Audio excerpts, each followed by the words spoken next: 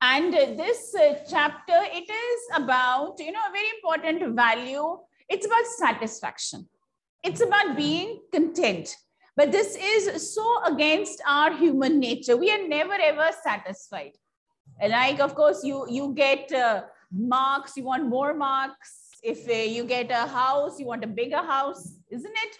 Right? So our, and you know, like what? Our desires are unlimited. But sometimes they might land us into a miserable situation. So before things go wrong, we should know where to put a stop, where we need to stop our desires and learn to accept the situation. Okay, right? So if a life is there, yeah, there are some things which we can change, but some things which we cannot. So today we're going to read about the story of Madame Loisel, Matilda Loisel. And uh, she was a very beautiful lady she had lots of expectations from life, but she was quite disappointed the way her life turned out to be. She wanted to look pretty, she wanted to wear nice dresses, she wanted to have a good life, but her life was absolutely in contrast to that, right? And one bad decision which she took in her life, it ended up changing her life completely. And sometimes we think that people who are very delicate and very taken care of and, you know, very, uh, what you can say, sophisticated, they will not be able to deal with the pressures of life. But that is what is surprising. Sometimes people who appear to be very delicate, they turn out to be quite tough. But Madame Loisel here, yes, if she was there in a way responsible for bringing this problem on herself and her family, she cooperated and was very hardworking. And yes, so she, uh, in fact, it changed her outlook towards life, right? So let's uh, start here. She was one of those pretty young ladies born as if through an error of destiny into a family of clerks. Beautiful lady, and uh, yes, it felt as if destiny has also done a mistake. She was born into a very humble family, a family of clerks. She had no dowry, no hopes, no means of becoming known, loved, and married by a man either rich or distinguished. And she allowed herself to marry a petty clerk in the office of the Board of Education. She was simple, but she was unhappy. So she was a beautiful lady and uh, but she did not have any prospects in life considering how our society is. So she did not have dowry so she could not uh, marry into a you know like a bigger better family. She married a simple person. Her life was simple but she was not happy with the life. She did not think that she was born to live this kind of a life. She suffered incessantly. Amritpal look at your book feeling herself born for all delicacies and luxuries. She suffered from the poverty of her apartment, the shabby walls, and the worn chairs. All these things tortured and angered her. She was born in a simple family. She got married in a simple family. Mehul, where are we reading? Sit properly, please.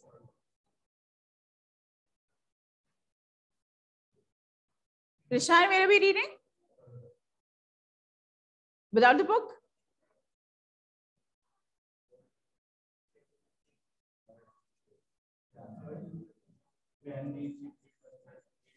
Yeah, we're going to start there. So she was leading a simple life, but every day when she looked at her house, she became even more unhappy. Why? Because she felt that no, this is not the kind of life she wanted. She wanted a luxurious life. She wanted a good life. When she seated herself for dinner opposite her husband, who uncovered the tureen with a delighted air, saying, Oh, the good pot pie. I know nothing better than that. She would think of elegant dinners or shining silver. She thought of the exquisite food served in marvelous dishes. She had neither frocks nor jewels, nothing. And she loved only those things. Husband was a simple person and he felt very happy when he would come home and she had made this, uh, you know, like a delicious meal for him.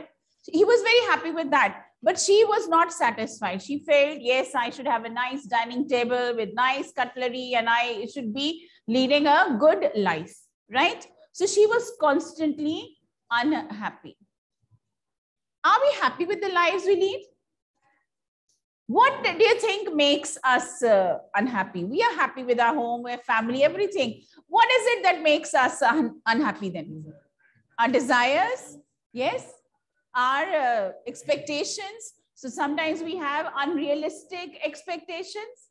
Yeah, and when they are not achieved, we end up becoming unhappy, right? So it is, yes, very important that we should realize the circumstances and there are some things that we cannot change. Okay, like, yeah, you, you don't uh, like have a job you like, you can work hard, you can get a better job, right? But if you think you can change here, like, yeah, because then work hard and try to change your destiny. Right. So she thought that I can't do anything about my life. And so she ended being unhappy. What do you think would the atmosphere of the home is if someone is always unhappy and sad and uh, not uh, what you can say? It would be unhappy, isn't it? Again, the, the family atmosphere will also be like that, isn't it? So, right, so she's not there doing a nice thing, just always imagining things which she's not going to have. She had a rich friend, a schoolmate at the convent, who she did not like to visit. She suffered so much when she returned. She wept for whole days from despair and disappointment. Do you think she felt jealous on seeing her rich friend? That's why she was unhappy? Yes. So she went over there and she saw her house and jewels and everything. It made her very upset. One evening, her husband returned elated, bearing in his hand a large envelope. He's very happy. He's got an envelope for her. Here, here is something for you. She quickly drew out a printed card on which were inscribed these words. The Minister of Public Instruction and Madame George Ramponneau asked the honor of Monsieur and Madame Loisel's company Monday evening, January 18 at the minister's residence. So she's got an invitation to a very important function, right? And uh, her husband is very happy that uh, she's going to be happy because uh, she spends most of the time just being what sad and disappointed. Instead of being delighted as a husband had hoped, she threw the invitation spitefully upon the table, murmuring, What do you suppose I want with that? She's very angry. What am I going to do with this invitation? But my dearie, I thought it would make you happy. You never go out, and this is an occasion and a fine one. So you can go out and feel happy. Everybody wishes one, and it is very select. Not many are given to employees. You will see the whole official world there. So this was uh, an invitation which was not given to everybody. And uh, so she would get a chance to meet other people, right? All the officials who would be there. She looked at him with an ir irritated eye and declared impatiently, what do you suppose I have to wear to such a thing as that? That's your biggest problem. It is an official function. What am I going to wear? He had not thought of that. He stammered, Why the dress you wear when we go to the theater? It seems very pretty to me. He was silent, stupefied, in dismay at the sight of his wife weeping. So this little thing, you know, it's hurt us so much. How can I go there? Because I don't have anything nice to wear. He stammered, What is the matter? What is the matter? By a violent effort, she had controlled her vexation and responded in a calm voice, wiping her moist cheeks. Nothing. Only I have no dress, and consequently, I cannot go to this affair. Give your card to some colleague whose wife is better fitted out than I. Stupefied means, uh, yes, so she's absolutely, you know what, he's shocked that he did not expect this uh, reaction. He gave her this invitation and uh, right, so instead of being happy, yes, she's disappointed and she's saying, what will I do with this invitation? How can I go there at such an official function? I don't have a nice dress. And she started crying. He's absolutely surprised and shocked at that reaction. He was grieved but answered, Let us see, Matilda, how much would a suitable costume cost? Something that would serve for other occasions, something very simple. So he says that, okay, how much do you think a dress would cost? Something simple that you can wear it for other occasions also. She reflected for some seconds, thinking of a sum that she could ask for without bringing with it an immediate refusal and a frightened exclamation from the economical clerk. So her, her husband was very economical. He would try to save as much money as he could. And she said, I have to ask a decent amount. Too much money, of course, uh, I can't ask. They have to think about the savings and everything. Finally, she said in a hesitating voice, I cannot tell exactly, but it seems to me that 400 francs ought to cover it. Francs is the hmm. of which country? Yes. So he turned a little pale, for he had saved just this sum to buy a gun. So, right, her husband had saved this money. He wanted to buy a gun that he might be able to join some hunting parties the next summer. So husband liked to go hunting and now he saved money so that he could buy a gun for himself. With some friends who went to shoot larks on Sunday. Larks, a bird, kind of a bird. Nevertheless, he answered, very well, I will give you 400 francs, but try to have a pretty dress. So her husband has given the money that he had saved. How much money did he give her? Right. Yes, uh, Krishan, please stand up. Why was uh, Madame Loisel upset on uh, receiving the invitation or on seeing the invitation? Why was she upset?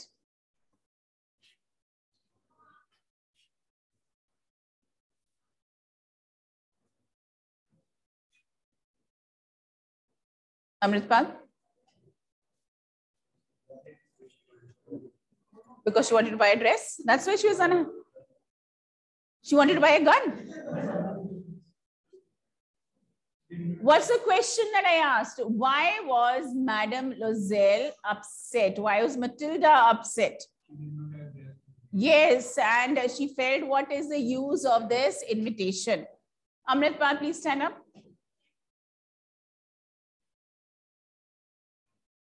Where were you lost right now? I think so. He is there, you know, role playing Madame Loisel. So she's lost in a daydreaming, and even he is daydreaming. So we have a perfect role play going on, isn't it? You all know what daydreaming is? So you, you can uh, ask Amritpal, he'll tell you what he was doing. Wake up and be attentive. Okay, sit down. Krishan, where is your book?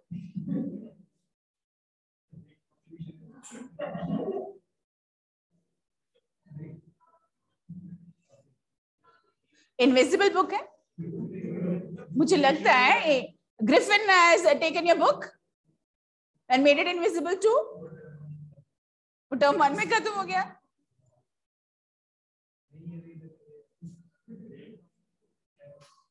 What? E book है। I'm bringing notebooks tomorrow, all of you. Okay? Yeah? Give it to me today. The day of the ball approached, and Madame Loisel seemed sad, disturbed, anxious. Nevertheless, her dress was nearly ready. So husband sacrificed uh, the money that he had saved to buy a gun so she could buy a nice dress for herself. Her husband said to her one evening, What is the matter with you? You have acted strangely for two or three days. And she responded, I am vexed not to have a jewel. He like she is there, you know, very uh, annoyed and unhappy here, right? Why? That uh, she does not have a jewel, nothing to adorn myself with, decorate, right? So that she can look pretty. I shall have such a poverty stricken look. So if I wear this dress without any jewelry, I will not look nice. I would prefer not to go to this party. And poor thing, he's given her his money also. He replied, You can wear some natural flowers. In the season, they look very chic. कि बहुत अच्छे लगेंगे you wear natural flowers okay she was not convinced no she replied there is nothing more humiliating than to have a shabby air in the midst of rich women. Shabby means? Shabby house, if you remember, you remember 100 dresses?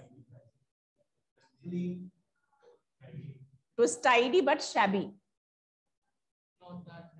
Yes, so not that pretty, you know, not uh, taken care of what you can say. Here in this, uh, not looking good. Okay.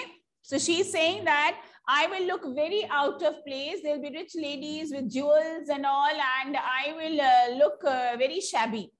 I will not uh, look uh, up to the mark, right? among those ladies.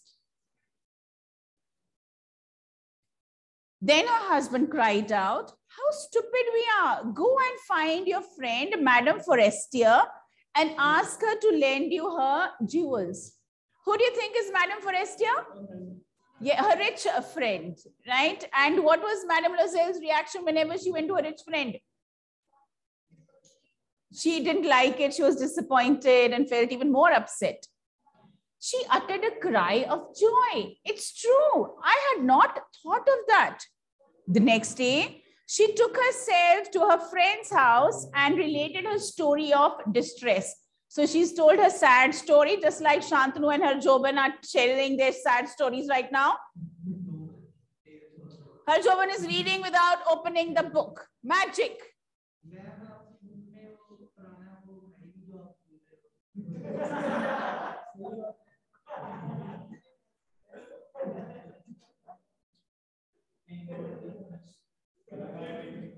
अभी तक तो था how it's disappeared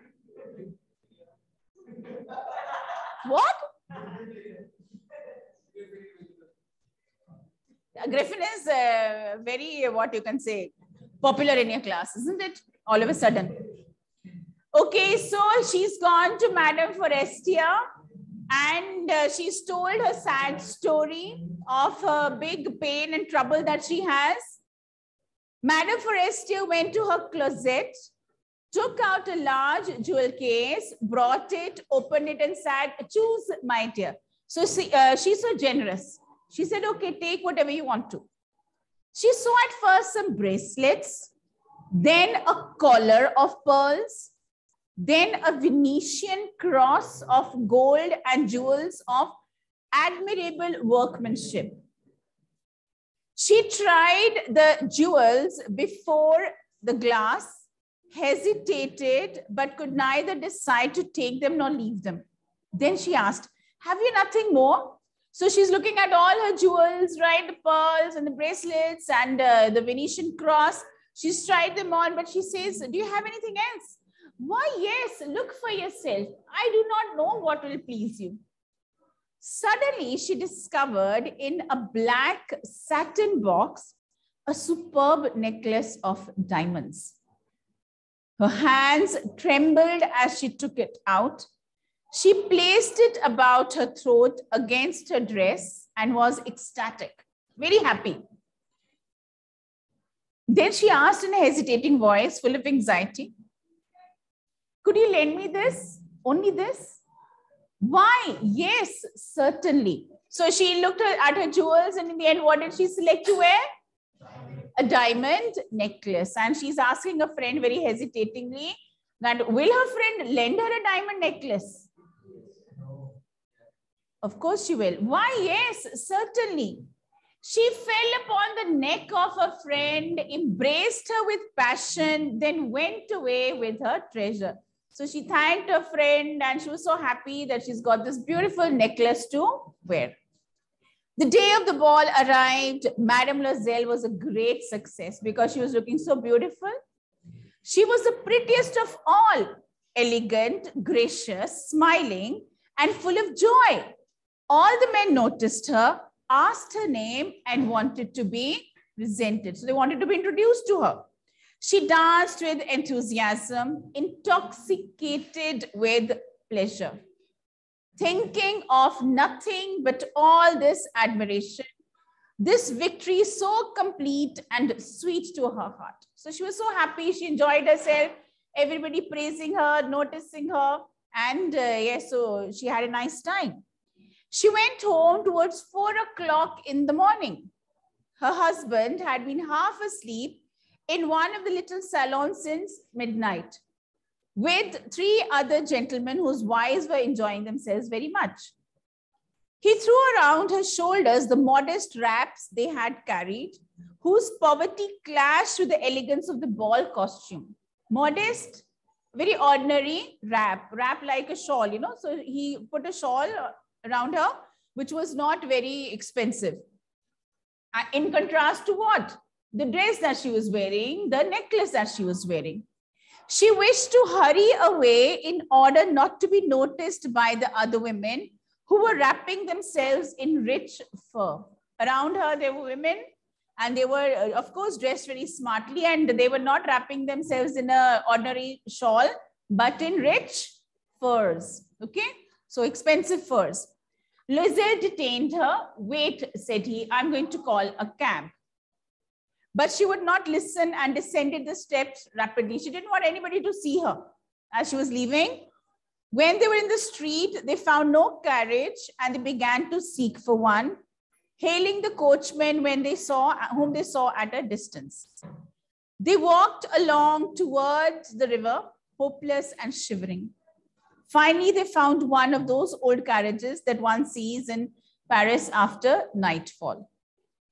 It took them as far as the door and they went wearily up to the apartment. It was all over for her.